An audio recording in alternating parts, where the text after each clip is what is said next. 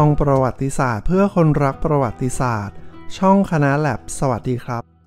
ตอน 12 ภาพพระบรมฉายาลักษณ์หาดูยาก ในพระบาทสมเด็จพระจุลจอมเกล้าเจ้าอยู่หัวรัชกาลที่ 5 ภาพที่ 1 สันนิษฐานว่าฉายขึ้นเมื่อใกล้งานพระราชพิธีรับพระสุพรรณบัตร ในปีรากา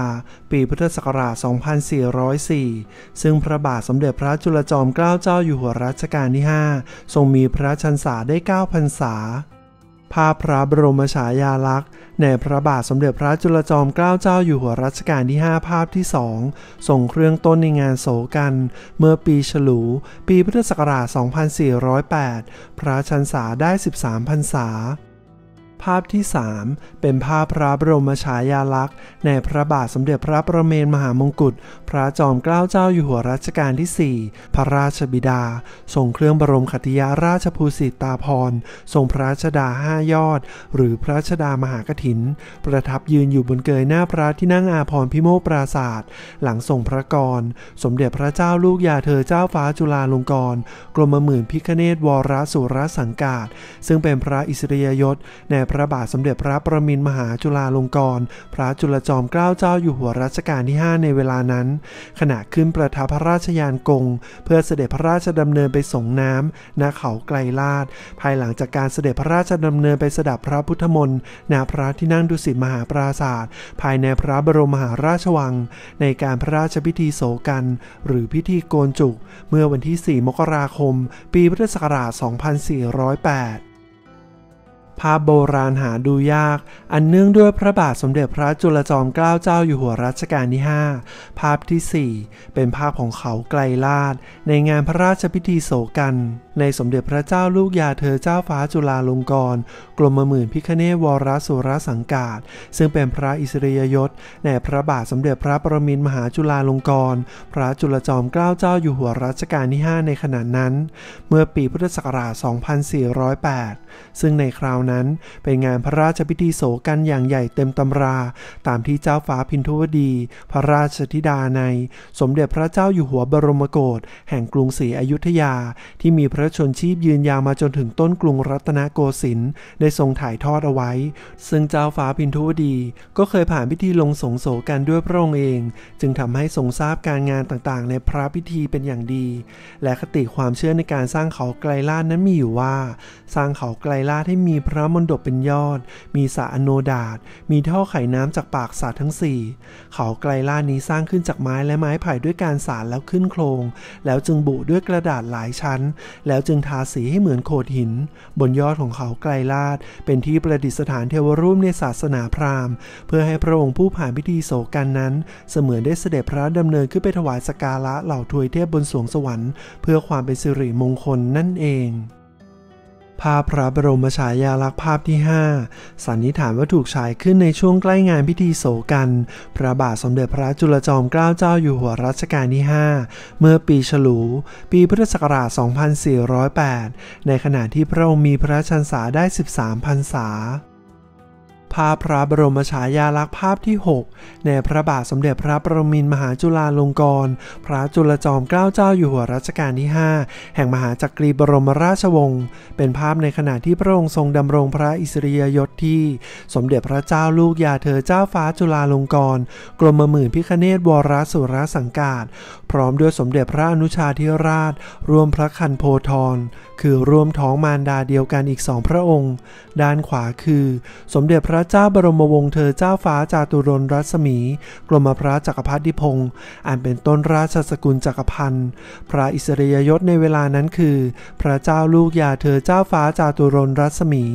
ด้านซ้ายคือ สมเด็จพระราชปิตุลาบรมพงษาพิมุกเจ้าฟ้าพานุรังสีสว่างวงศ์กรมพระยาพานุพันธุวงศ์วรเดชอันเป็นต้นราชสกุลพานุพันธ์พระอิสริยยศในเวลานั้นคือ พระเจ้าลูกยาเธอเจ้าฟ้าพานุรังสีสว่างวง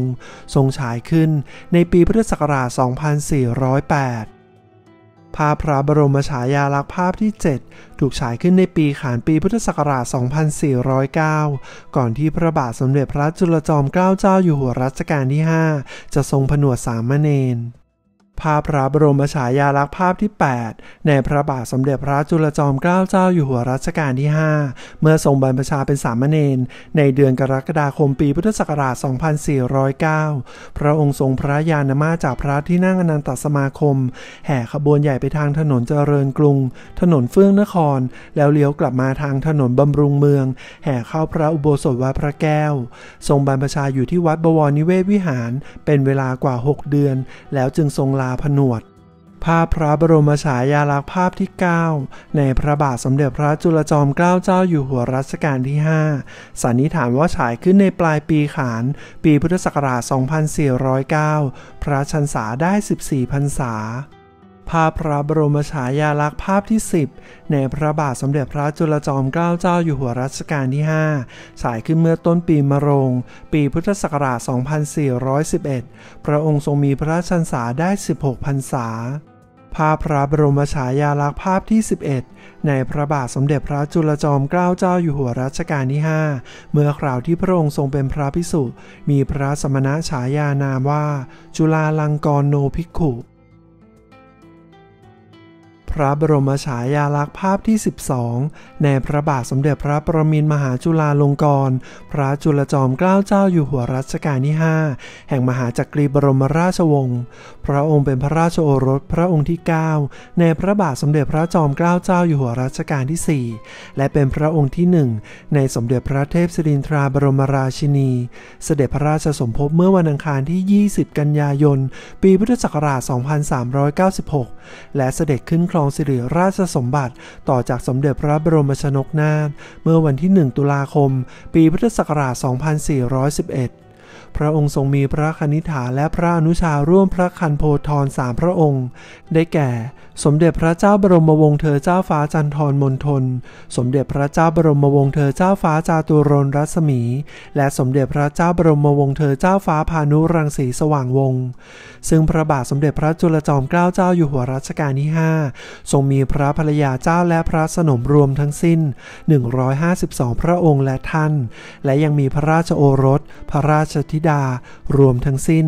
97 พระองค์ เป็นพระราชโอรส 32 พระองค์ เป็นพระราชธิดา 44 พระองค์ แม้ปรากฏว่าเป็นพระราชโอรสหรือพระราชธิดาอีกหนึ่งพระองค์ และตกไม่เป็นพระองค์อีก 20 พระองค์ แบ่งเป็นสายราชสกุล 15 สายราชสกุล อันสืบเนื่องด้วยรัชกาลที่ 5 ซึ่งพระบาทสมเด็จพระจุลจอมเกล้าเจ้าอยู่หัวรัชกาลที่ 5 ทรงปฏิบัติพระราชกรณียกิจสำคัญเพื่อชาติมามากมาย ยกตัวอย่างเช่น พระองค์ทรงมีพระมหากรุณาธิคุณโปรดเกล้าโปรดกระหม่อม ให้มีการเลิกทาส มีการป้องกันพระราชอาณาจักร จากการเป็นอาณานิคมของฝรั่งเศสและอังกฤษ พระองค์เสด็จประพาสยุโรป เพื่อทอดพระเนตรสิ่งต่างๆ แล้วนำกลับมาพัฒนาชาติ เช่น การไปรษณีย์การรถไฟ การไฟฟ้า การคมนาคม การสาธารณูปโภคต่างๆ พระองค์ยังทรงปฏิรูปการเมืองการปกครองของไทย พระองค์ทรงมีผลงานพระราชนิพนธ์ต่างๆ มากมาย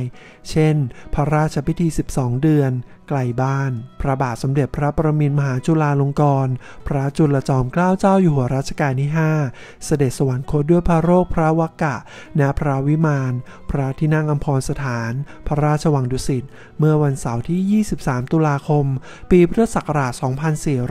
2453 ด้วยสำนึกในพระมหากรุณาธิคุณล้นเกล้าล้นกระหม่อม ปวงข้าพระพุทธเจ้าอยังหาที่สุดมิได้ถ้าคุณชอบเรื่องราวต่างๆ ทางประวัติศาสตร์ อย่าลืมกดไลค์ แชร์ Subscribe เป็นกำลังใจให้ช่องคณะแลบ กดกระดิ่งเตือนไว้จะได้ไม่พลาดในคลิปต่อไป ขอบคุณครับ